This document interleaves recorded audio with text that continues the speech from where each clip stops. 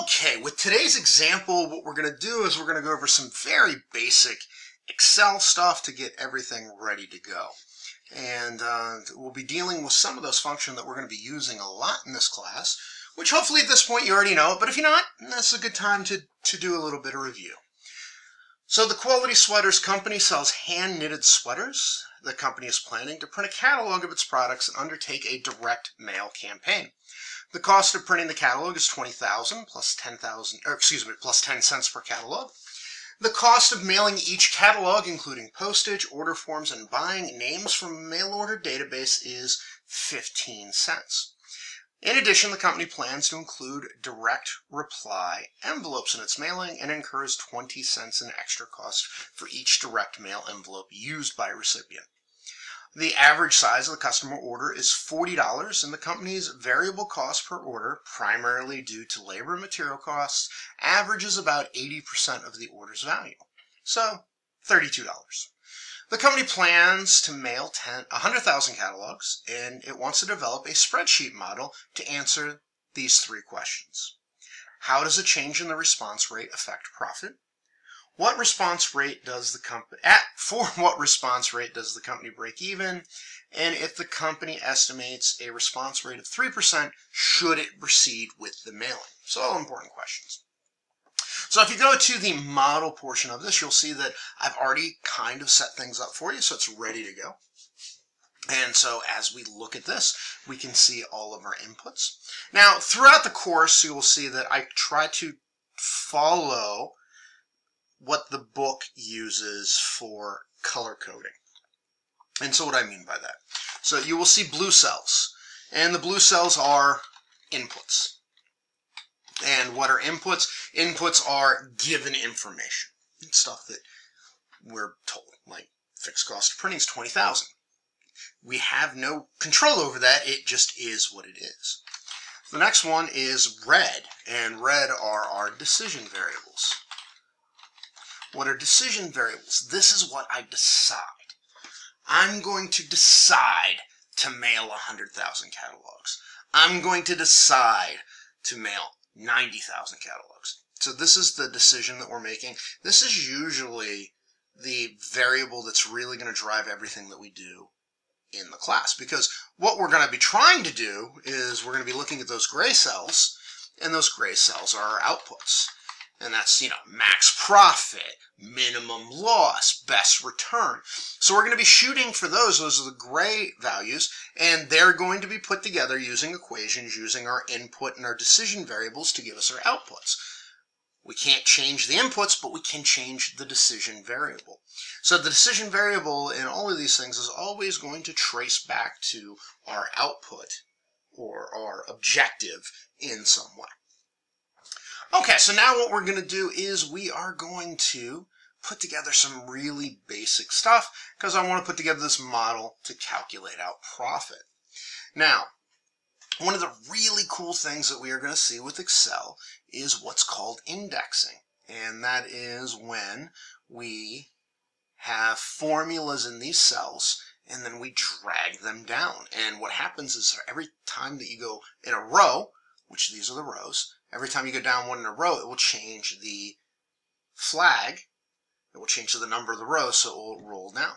And then we have the columns that if you drag it, so the columns will change G to H to I.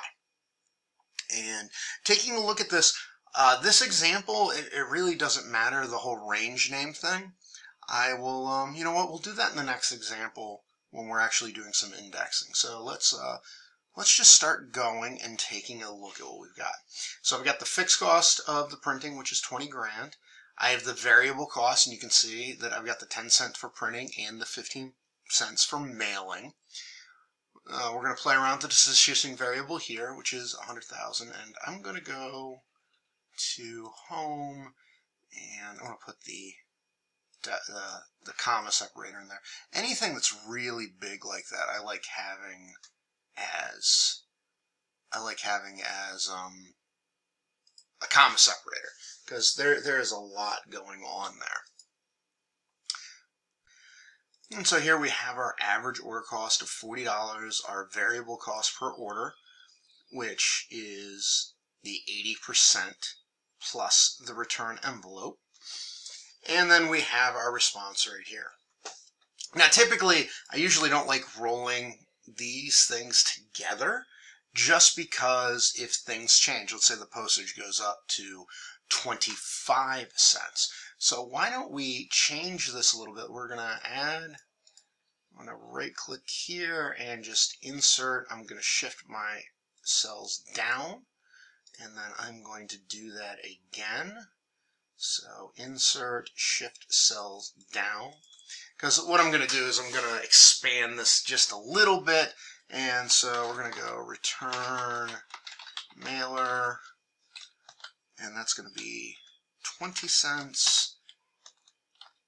And um, what are we going to call that? That 80%.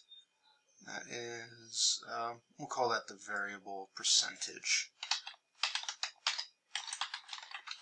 Variable And I'm going to put that at 80%. And of course, that comes in as 80 cents because that's set to a currency. So there we go, 80%. And so then I'm going to do this. So then my variable cost per order was going to be equals the average order. I'm going to multiply that by the variable percentage, and then I'm going to add to that my return mailer. Now I don't have to parentheses that because the multiplication happens before addition because Excel runs on BEDMAS, so brackets, exponents, divide, multiply, add, subtract. And so order of operations there is fine. And uh, it says that I made a mistake in my thing. That's because I have an equal sign at the end again. So I will let it correct that. So there, we still get the 32.2. And so like I said, I usually um, I usually like doing this because I don't I very down on burying any kind of numbers in here. And so this is the 25 cents. And let's do the same thing. Let's uh, let's break that out. So I'm going to insert. I'm going to shift all those down. And so this would be variable cost of printing and then variable cost of mailing. So the printing is 10, the mailing is 15, so we'll put in 10 cents, we'll put in 15 cents. Okay, there we go. And once again, I don't like burying anything into those cells because I want things to be easy to change because what happens if, oh, the price of the mailing goes up a nickel, now you have to figure out where it is and dig it out. Otherwise, here it's just right there. You can change it. Everything's great. All right. So let's go. So the next thing we want to do is we get response rate. Let's build up this table here. And so number of responses. Well, if my response rate is 8%, I'm going to take the number mailed. I'm going to multiply that by my response rate. And I'll see that I've got 8,000 people that are going to be responding to this. Now, if this is at a weird thing, let's say, uh, let's see if I, 8.21, well, actually that works out well. We'll just leave it as it is, and we'll play around with it later and see if we need to round it or anything like that.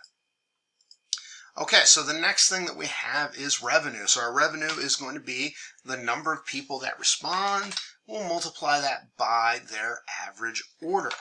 And so that gives us, if we have an 8% response rate, $320,000. So fixed cost of printing, we already have, that's that right here, so we'll bring that over. And then we have total variable cost of printing and mailing. And so that's going to be, we're going to incur this for everything that we send out. So we've got number mailed, and then we're going to multiply it by Let's do the sum of our variable cost of printing and mailing. And so that would tell us that our variable cost on that stuff is going to be $25,000. And then what we're left with is the total variable cost of our orders. And so that is just going to be the number of responses that we have and we're going to multiply that by the variable cost per order. And then we can sum up our total costs, which will be all of these ones here. Just do a sum of those three numbers. And that gives us our total cost. And so profit is just going to be our revenue minus our costs. So in this situation we start out with an 8% response rate, we're going to expect to make $17,400. Okay, we have not answered any of our questions yet, but we have set up our spreadsheet model so that we can answer those questions. So in the next video, we'll actually use this spreadsheet model to answer the questions.